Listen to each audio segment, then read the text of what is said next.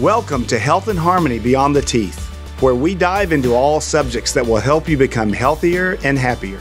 As a dentist, I believe dentistry is more than just teeth, so I created this show to focus on overall health. We will hear from leading experts about eating better, exercising better, breathing better, and sleeping better.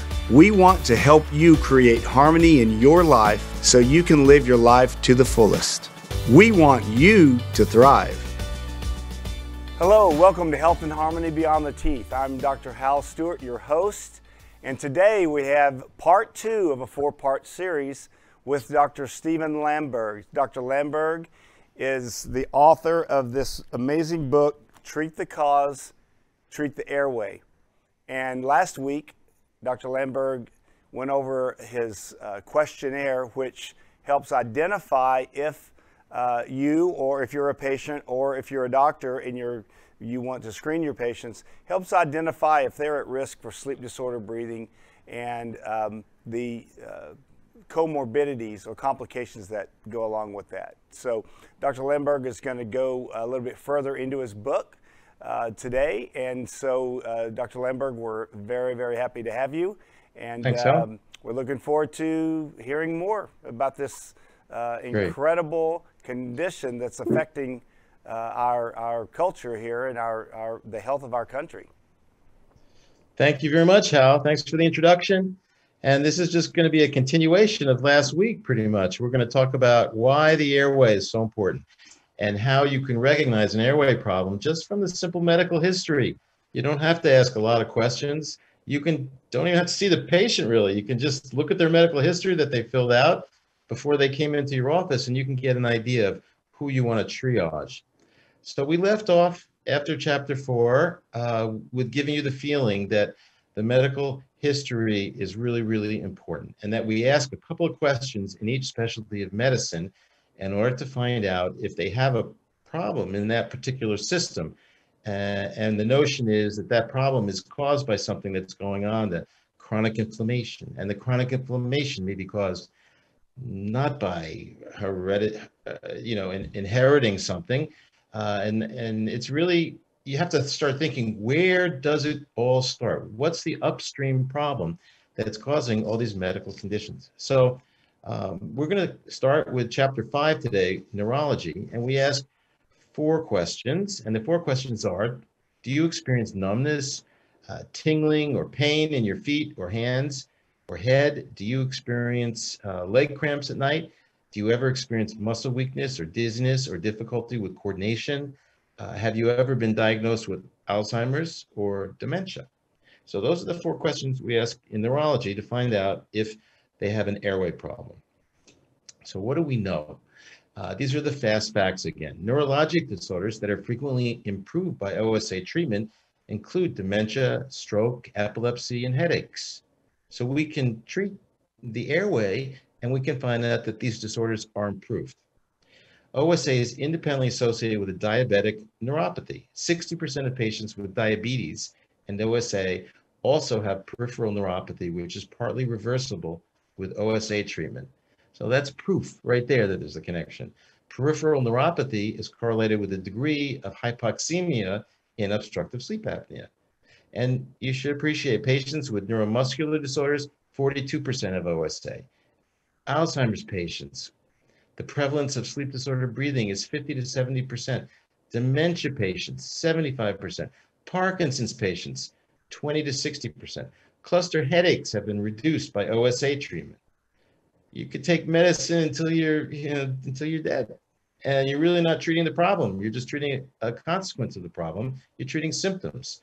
90% of restless leg syndrome patients have periodic leg movement disorder, PLMD, which further contributes to fragmented sleep.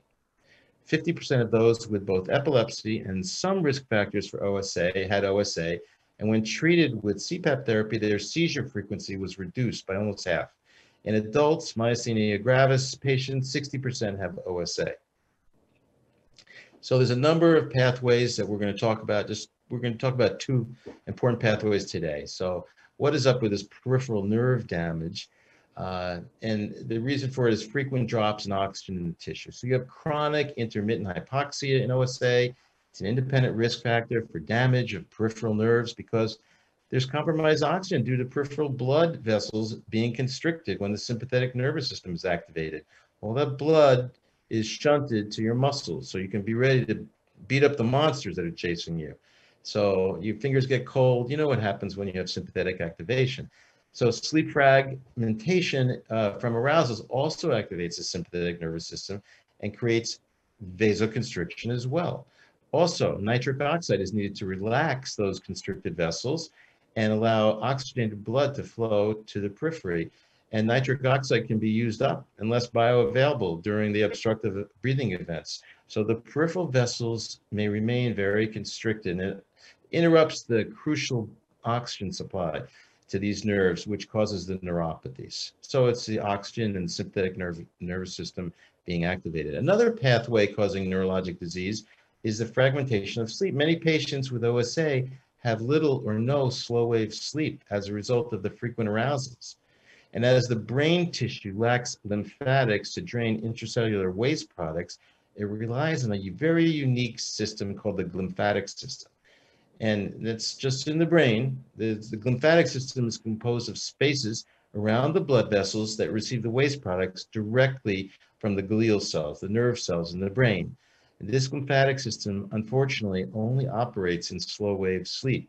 So if fragmentation of the sleep causes a reduction in the slow wave sleep, N3, then those waste products, namely there's the beta amyloids and the tau proteins, they build up in the tissue.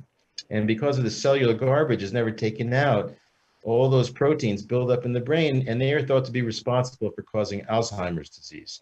So diagnosing and treating a sleep breathing problem in these patients reduces the risk of their condition worsening. So if we have someone that's marginal or they're developing these neurologic problems, we want to test them and get them help as soon as possible. Then we move on to the endocrinology section. Hormone messenger system. Have you been diagnosed with diabetes or hypothyroidism? Have you unexpectedly gained or lost weight lately? Have you gone through menopause? Are you on hormone replacement therapy? Have you been diagnosed with low testosterone?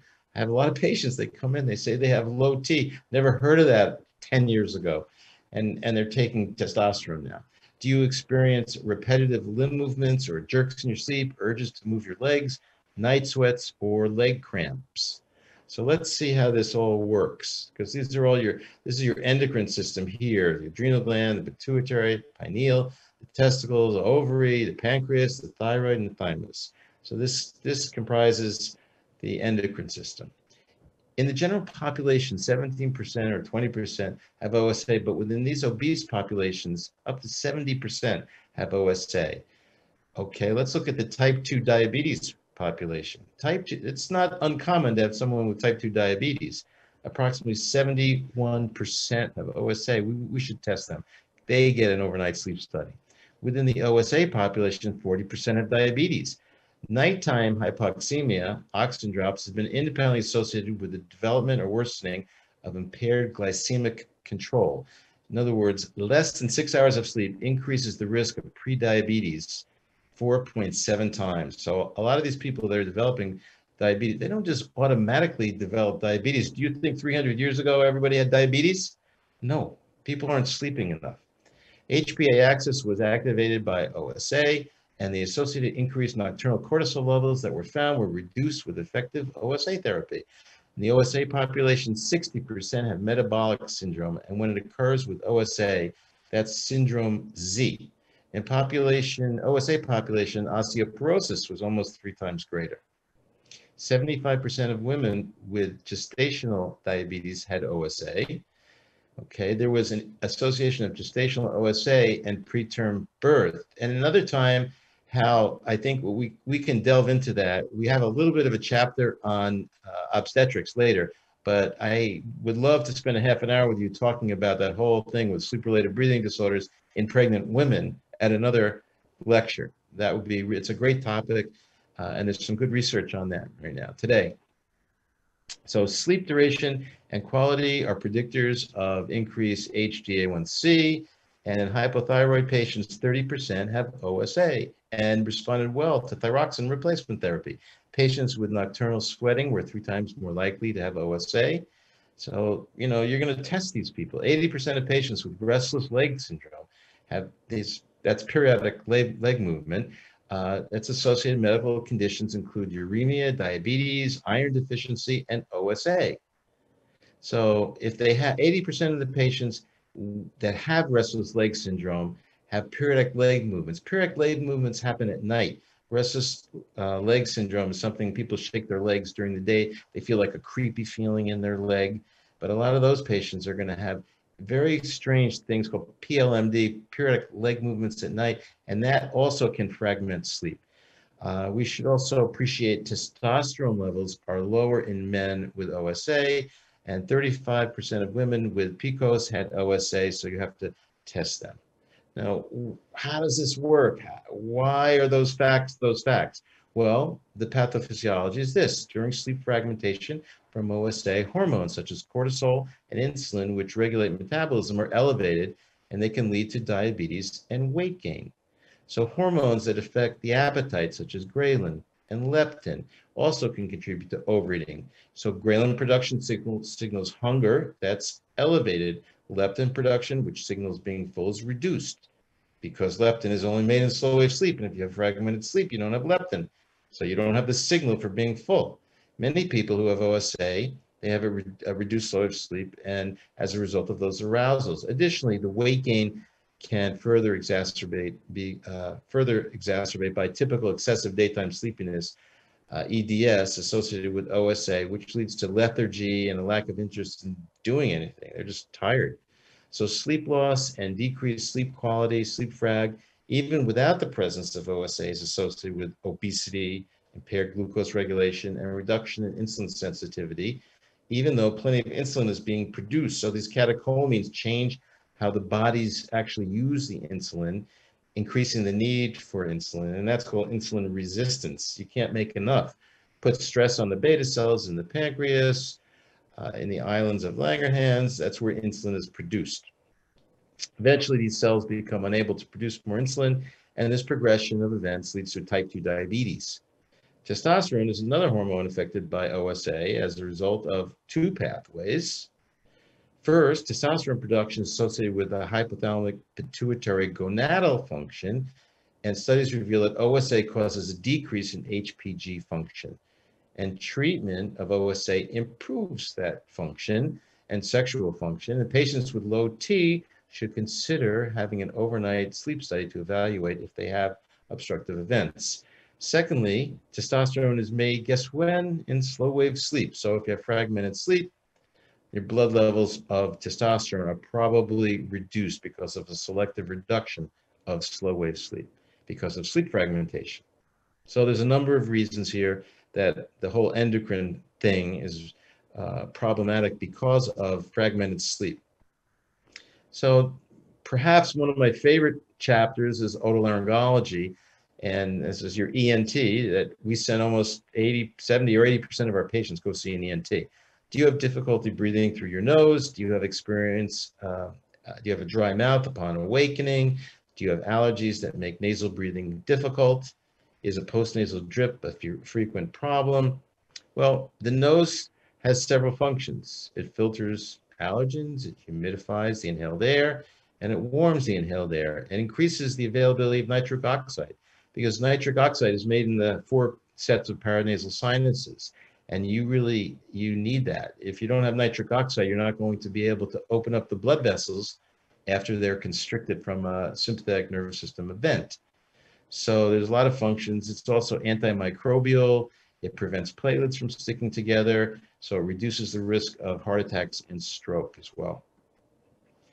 So reduced nasal breathing is a big problem. It leads to the mouth breathing and hence the question do you have a dry mouth when you wake up and a lowered tongue posture. If you're having a growing kid with a low tongue posture, you should understand or appreciate that the, the whole arch is, the upper arch of teeth and the maxilla is formed by the tongue being up and forward. And if you're breathing through your mouth, then the tongue drops down and you end up with a very narrow arch. And remember, the roof of the mouth is the same as the floor of the nose. So a very, very narrow nose. And if you have a narrow passageway through your nose, it's really, it reduces the airflow by a cube by Poiseuille's law. So looking over here, you can get enlarged adenoids, which can be a problem. You can have uh, frequent respiratory infections, which is also, if you have nitric oxide, you can reduce this because it's antimicrobial. You can have swollen nasal mucosa, you can have nasal septal deviation, contracted maxillary arch, decreased nasal width. This can lead to reduced nasal breathing. When you do your exam, you're going to start looking at all these things. Um, mouth breathing leads to extended head posture. You know those kids you see sometimes and their, their head is way forward and takes a lot of effort to uh, to hold that whole watermelon in front of your shoulders. You, you really sh- everybody should stand up straight, straight like a yogi, and that whole watermelon on top of your shoulders should go right down your spine, and then you won't have to see a chiropractor. So these things feed off on each other, and it just gets worse and worse. And here's a couple of pictures. This is a very narrow palate and it's high arch. When you see something like this, you should think low tongue posture. The tongue wasn't up there. And you can see that uh, this is a retrognathic person over here. The maxilla and the mandible are back. These are problems with the nose, and this is an external uh, nasal valve here, which is very narrow on the right side compared to his left side. And bone, there's grafts, different types of uh, batten grafts that can be placed here by the ENT. They can also take a, an enlarged turbinate, which is blocking the air, and they can reduce the size of that turbinate. Don't cut it out. We don't remove them anymore. That had been done. Um, but now they're just reduced in size to allow the nasal airflow, appropriate nasal airflow. And here's a, an example of septoplasty, which straightens out from the left side to the right side, the septum, and that allows the air to flow a little bit more smoothly through the uh, nasal passageways. This was an experiment that was done by Harvold, and you couldn't do this today, but he found by, he took plugs and put them in the monkey's nose. And look what happened. Look at that narrow, long, skinny face. Well, the good news is after he found that this monkey had a long, narrow face, but the unplugged monkeys didn't, he then took these corks out of the nose and then the monkey went on to grow up to be a normal monkey. But this is a, this just shows that when there's mouth breathing and the tongue drops down, that's the scaffold for the upper arch. And we see this in, in our patients. And we see arches like this. And it's my belief that if we had a more aware population and we made sure people were nasal breathing, that we wouldn't need orthodontics at all.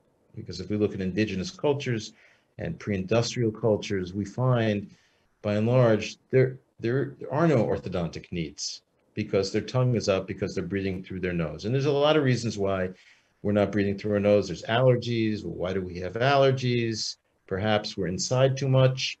Uh, perhaps we the foods that we eat are too soft, so we don't have a lot of muscular activity, and that contributes to this as well because a lot of the bones are formed by mechanotransduction. So there's a whole bunch of reasons why, uh, like the Eskimo kids, they're given whale blubber and they're supposed to chew on whale blubber when they're little kids. So in our culture right now, there's no nothing like that. They they're fed soft food so they don't choke for years, for the first couple of years. Look at this kid at age 10. He looks perfectly normal at age 10. And then must have been an allergies developed and he's now his mouth breathing and look what's happening to his chin this is the same child at age 10 and age 17. He's gone through a growth spurt, but during that period when he had the growth spurt, he had some allergies or for whatever reason, he was breathing through his mouth. And then look at the chin over there. And this is horrifying and it doesn't have to be. Now that he's a candidate now for a, a maxillomandibular advancement. And that's a big surgery and he'll look fine, but that's a lot of work to do. And it was all avoidable because he started right here this wasn't a genetic thing at all. It was a behavioral mode of breathing that caused this problem. We know that your nose accounts for 50% of your total upper airway resistance. Total upper airway resistance. All right, it's your nose. So we, we're really super involved with ENTs. Physiologic functions, we already went over. 40% of today's population have chronic nasal obstruction.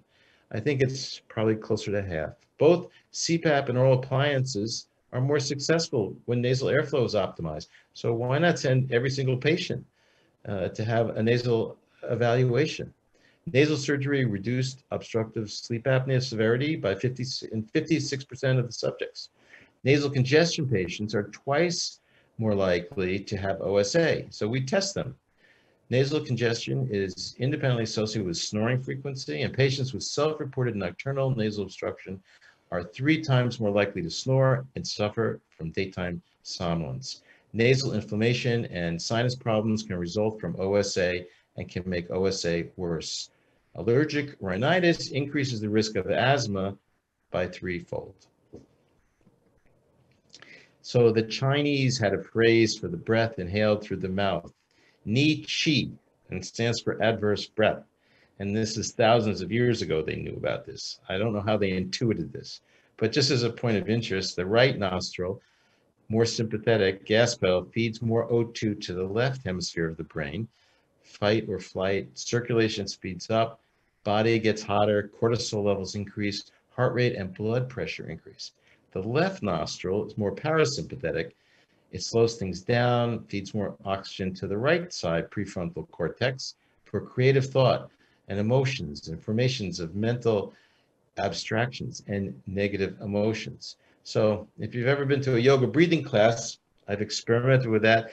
They hold one nostril, you breathe in, and then you hold your breath, and you exhale, and then you breathe in through the other nostril. And so you can experiment uh, doing these. And as a matter of fact, James Nestor, who recently spoke at our network uh, for us uh, two weeks ago on May 11th at the uh, PANI meeting, uh, he wrote the book Breath, and I'd really, really, really recommend that uh, that book. He taped his nostrils up for two weeks. He couldn't stand it. His blood pressure was through the roof, and he was miserable as could be. And so he proved to himself through doing these experiments how important it is to nasal breathe.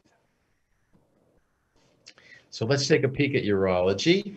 And then we get to dentistry after this, which is really fun. So urology is uh, the questions I ask for urology. Do you experience erectile dysfunction? Uh, most of the women say no. Uh, do you experience decreased interest in sex or have you taken medications to enhance sexual performance?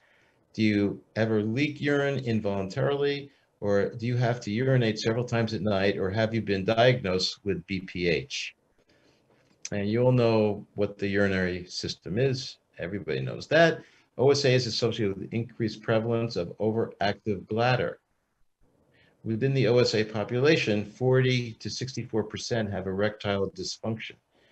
Within the erectile dysfunction population, 40 to 40% have OSA. So a sleep studies indicated for patients diagnosed with ED. So if you know any urologists and they're giving out pills for ED, you should suggest to them that they might consider having a sleep study done and that you'll do sleep studies for any of their patients that have ED. And that might be a way non-pharmacologically to approach that. So sleep fragmentation, sympathetic activation from OSA causes a decrease in circulating ADH. It's antidiuretic hormone, also known as vasopressin, which is a major cause for needing to urinate at night.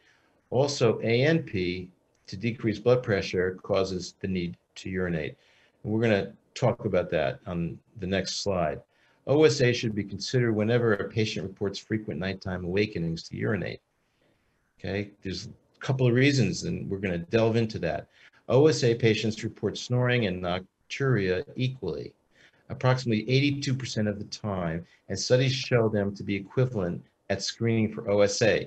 So if people get up three or four times a night to pee, they're not supposed to do that.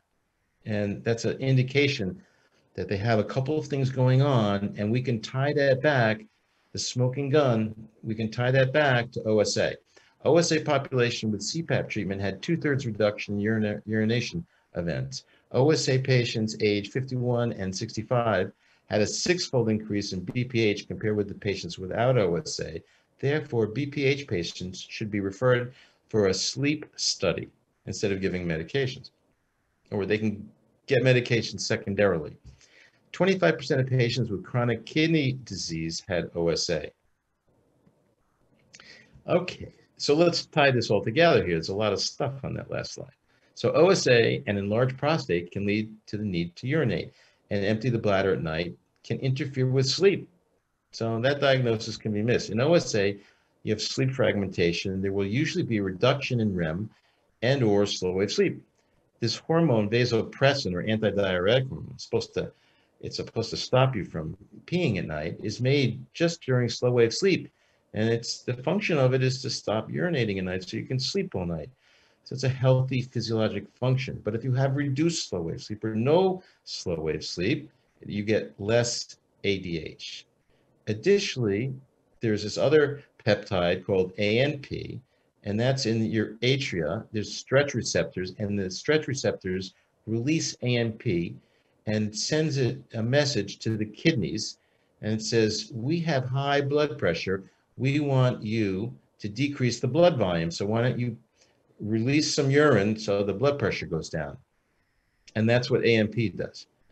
So you have the ANP working, and you have a decrease in the vasopressin, and you have two of those things. It's the perfect storm.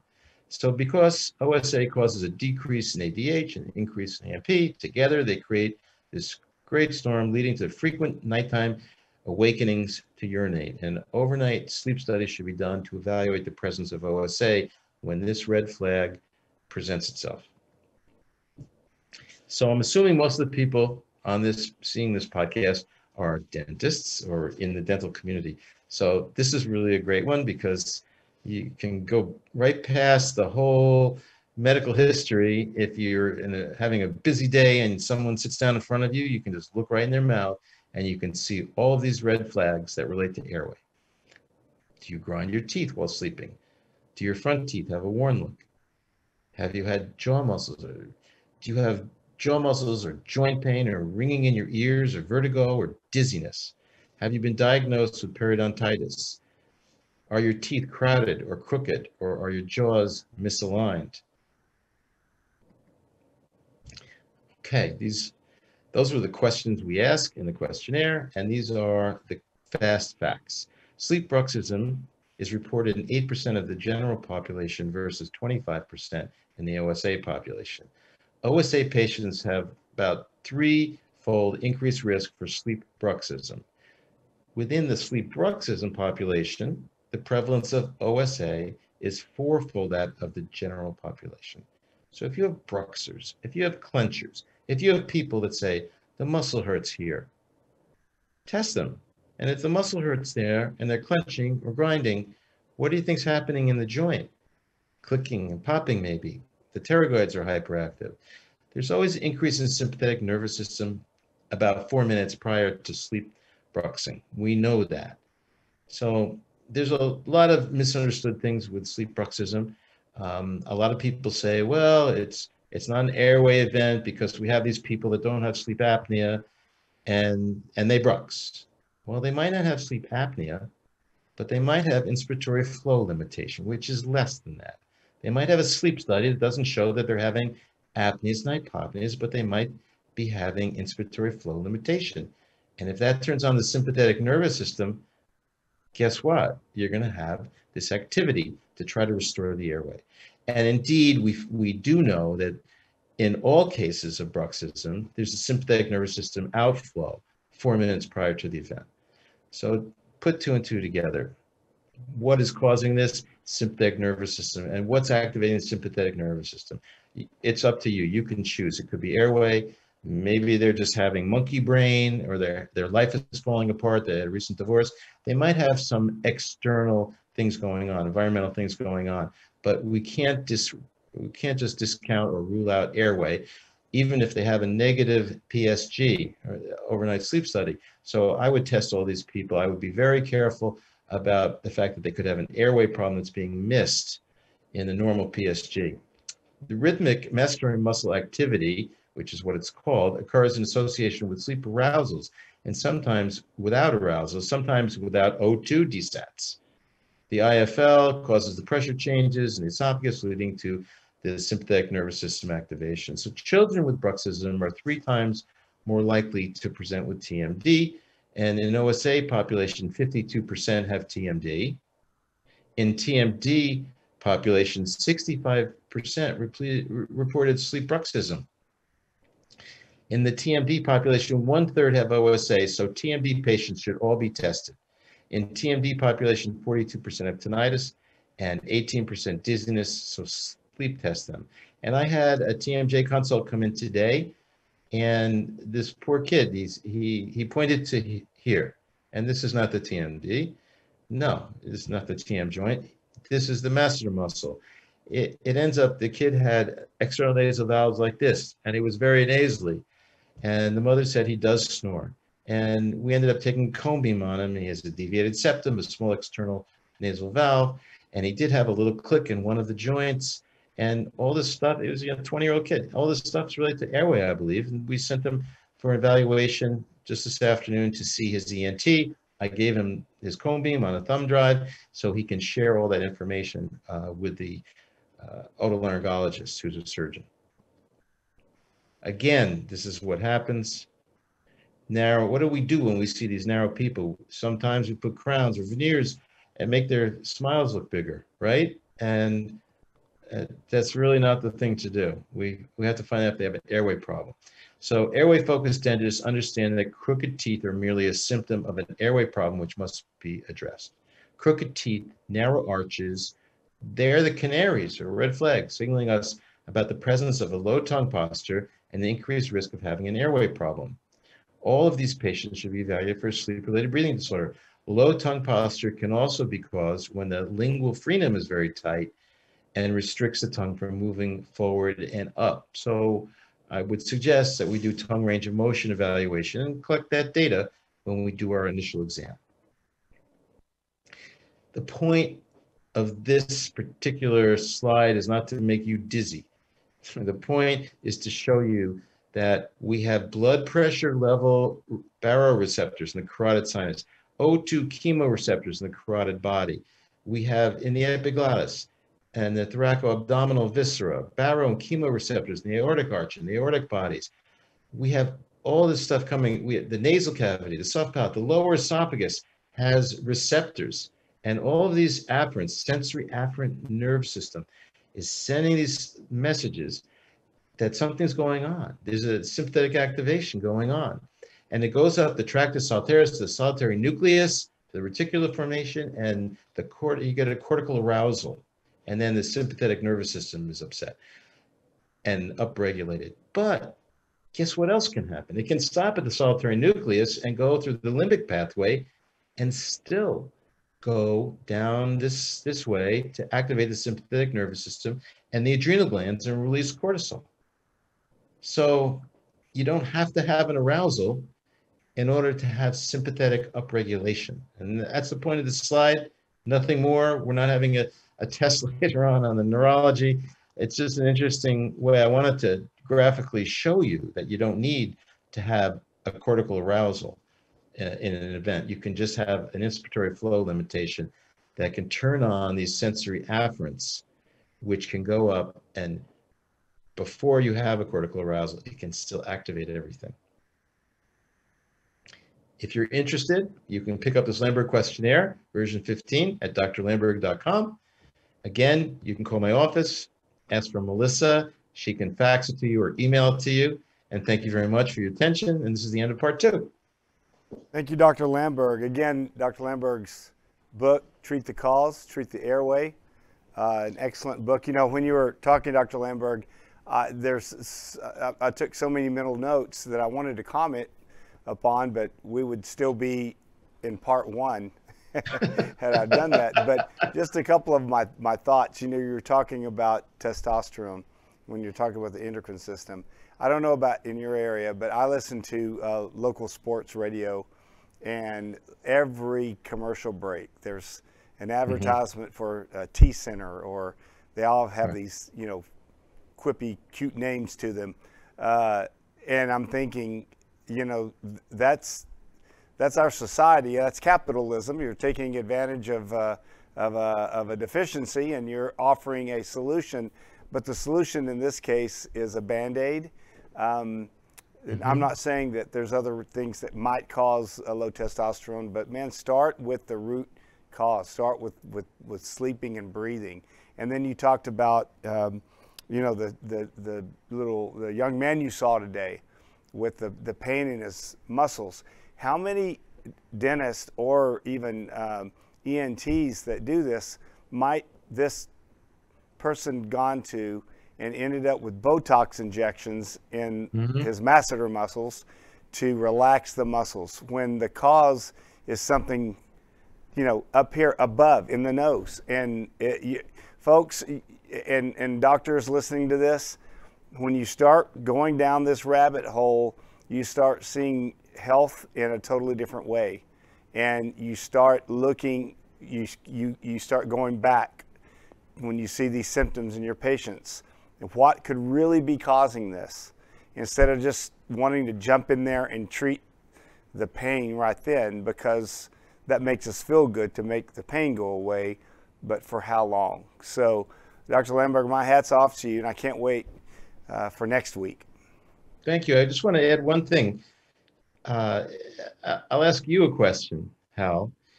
So, if that patient that came in with the pain in his muscle, I think a lot of dentists would have made a night guard. Don't you think? Yes. And where does the night guard go? In the mouth. and and there's a little competition for space up there, isn't there? Yes. The tongue. So that would actually encroach on the tongue. And that might make the airway worse. Right. So you'd basically be protecting the teeth at the expense of even increasing the upregulation of the sympathetic nervous system. Right. Just a thought. Yeah. No, sometimes our, our cure is, is I'm not going to say worse than the disease, but it, it actually right. helps the disease move along. So uh, you're exactly right. Um, the tongue's fighting for space, and anything we put in there is taking up that valuable space. So you, you did exactly what I would have done. Uh, you did the exact right thing. If, you know, he gets that treated and is still having a, a, a, pain there, then you can look at other things. But that's the right way to go. And and and again, my hats off to you. And I'm looking forward to uh, to next week. Uh, Dr. Lamberg will be going over the uh, the the first part of the last half of his book. So we've mm-hmm. we've uh, finished part one and two now. Next week will be part three. And Dr. Lamberg, we're looking forward to having you back. This has been Health and Harmony Beyond the Teeth with your host. I'm Dr. Hal Stewart. You guys have a great week. Uh, stay happy and stay healthy. God bless.